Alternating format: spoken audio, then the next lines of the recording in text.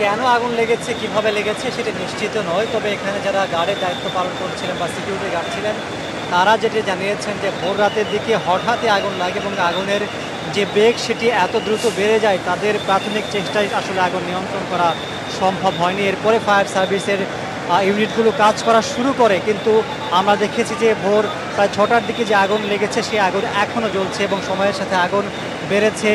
আগুনের ধোঁয়া ছড়িয়ে পড়ছে চারদিকে। এর মধ্যে ব্যবসায়ীরা চেষ্টা করেছেন যে ভেতর থেকে মালামাল যতটুকু বের করা সম্ভব হয়। আগুন লেগেছে তিন তলায় এবং তিন তলার ঠিক পশ্চিম পাশটায় আগুন ছড়িয়ে পড়েছে। পূর্ব পাশে যেহেতু ফাঁকা রয়েছে, বাতাসের কারণে এদিকে ধোঁয়া বেরোচ্ছে। আমরা দেখেছি যে ফায়ার সার্ভিসের আঠারোটি ইউনিট কাজ করছে, কিন্তু ফায়ার সার্ভিসের পক্ষ থেকে যেটি বলা হচ্ছে যে ভেতরে প্রচণ্ড ধোঁয়ার কারণে তারা আসলে আগুনের যেখানে মূল জায়গা সেখানে যেতে পারছেন না। তারা যেটি বলছে যে যেহেতু পুরো মার্কেটই দার্য পদার্থ অর্থাৎ কাপড় বেল্ট এবং বিভিন্ন ধরনের সরঞ্জাম আহ, কোকারিজও রয়েছে নিচতলায়। তবে কাপড়ের কারণে আগুনগুলো যেহেতু আগুন যেহেতু কাপড়ে লাগলে আসলে দাউ দাউ করে জ্বলে ওঠে না আস্তে আস্তে জ্বলে ওঠে। সে কারণে আগুন নিয়ন্ত্রণ করতে তাদের বেশ বেগ পেতে হচ্ছে। আমরা দেখেছি যে ফায়ার সার্ভিসের নিজস্ব যে পানির ব্যবস্থাপনা ছিল সেখান থেকে তারা পানি দিচ্ছেন এবং পাশে যে পুকুর রয়েছে, সেখান থেকেও তারা পানি সরবরাহ করেছেন। একটি অভিযোগ ব্যবসায়ীরা করছেন, সেটি হচ্ছে যে নিশ্চয় দেখতে পাচ্ছেন যে, নিউ মার্কেটের সাথে একটা ফুট ওভার ব্রিজ রয়েছে। এই ওভার ব্রিজের সিঁড়ি আছে, সেই সিঁড়িটি সিটি কর্পোরেশনের পক্ষ থেকে রাতের দিকে, ভোর রাতের দিকে ভেঙে ফেলা হয়েছে। আর তাদের পক- পক্ষ থেকে বলা হয়েছে যে, ঝুঁকিপূর্ণ ঈদের সময় অনেক মানুষ এখানে যাতায়াত করবেন। সেটি দুর্ঘটনা এড়াতে সেটি ভেঙে ফেলা হয়েছে।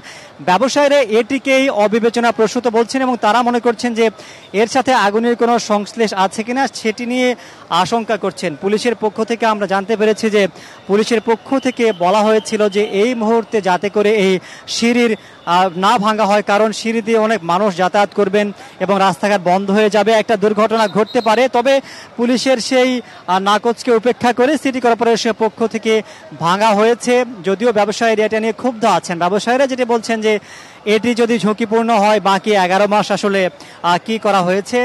আর ফায়ার সার্ভিসের পক্ষ থেকে গত পাঁচ এপ্রিলেও বলা হয়েছিল যে, বঙ্গবাজারে যখন আগুন লাগে তারপরে বলা হয়েছিল যে, আরও যে বড় বড় মার্কেটগুলো আছে, নিউ মার্কেট, গাউসিয়া, চকবাজার থেকে শুরু করে চন্দ্রিমা মার্কেট আর রাজধানী সুপার মার্কেট এগুলো আগুনের ঝুঁকি আছে। এরপরে ব্যবসায়ীরা আমাদেরকে জানিয়েছেন যে তাদের পক্ষ থেকে যতটা সতর্কতামূলক ব্যবস্থা নেওয়ার কথা সেটি তারা নিয়েছিলেন। কিন্তু আগুন যেভাবে ছড়িয়ে পড়েছে এবং ঠিক ভোর রাতে যখন মানুষ সেরি করে নামাজ পড়ে কিছুটা ঘুমিয়ে পড়েছেন, সেই সময়ের আগুন আসলে তাদের পক্ষ থেকে নেভানো কোনোভাবেই সম্ভব ছিল না। অনেকেই টাকা বের করতে পারেনি, অনেকের ক্যাশে অনেক টাকা ছিল, সেই টাকাগুলো ধ্বংস হয়ে গেছে। তার চেয়ে বড় কথা নিউ মার্কেটে আগেও আগুন লেগেছিল। নিউ মার্কেটে আগুন লাগার কারণে ব্যবসায়ীরা দারুণভাবে ক্ষতিগ্রস্ত হয়েছেন। কারণ ঈদের মাত্র কয়েকদিন বাকি, নিউ মার্কেটে আশপাশের যে মার্কেটগুলো আছে চন্দ্রিমা গাউসিয়া থেকে শুরু করে সব মার্কেটই কিন্তু এখন বন্ধ রয়েছে এবং ফায়ার সার্ভিসের পক্ষ থেকে সেগুলো এখন আগুন নেভানোর যাতে আগুন না লাগে সেটি চেষ্টা করা হচ্ছে। ব্যবসায়ীরা আমরা যারা ভেতরে গিয়েছিলেন, তাদের সাথে কথা বলেছি। তারা যেটি বলছেন যে আগুন এখনও তিনতলায় আছে। তাদের যেটি দাবি যে আগুন দুতলায় নামে নিয়ে ফায়ার সার্ভিসের পক্ষ থেকে যদি তিনতলার আগুনটা নিয়ন্ত্রণ করা হয়, তাহলে হয়তো দুতলার যে দোকানগুলো আছে সেগুলো বেঁচে যাবে। ফায়ার সার্ভিসের মহাপরিচালকের সাথে আমি কথা বলেছিলাম। তিনি যেটি বলেছেন যে তাদের পক্ষ থেকে সর্বোচ্চ চেষ্টাটুকু করা হচ্ছে এবং তিনি যেটি বলেছেন যে এই আগুনের দুর্ঘটনার কথা মার্কেট কর্তৃপক্ষকে তারা আগে জানিয়েছিলেন, আর তারপরে আগুন কেন লেগেছে সেটি নিশ্চয় তদন্ত কমিটি হবে এবং তদন্ত কমিটি আসলে বলতে পারবে আগুন কেন লেগেছে এবং সে অনুযায়ী তারা ব্যবস্থা নিতে পারবে।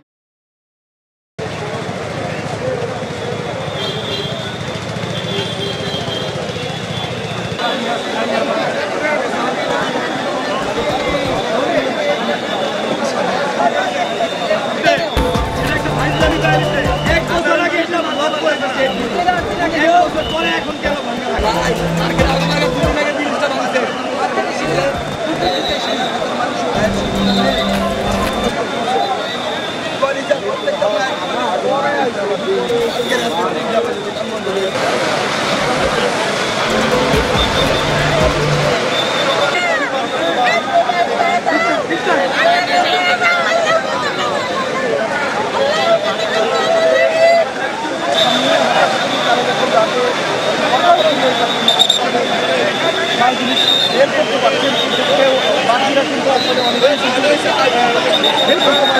আমাদেরই কিন্তু আসলে এই কাজটা আমরা একদম ঠিক গেটের সামনে দাঁড়িয়ে এবং দেখতে পাচ্ছি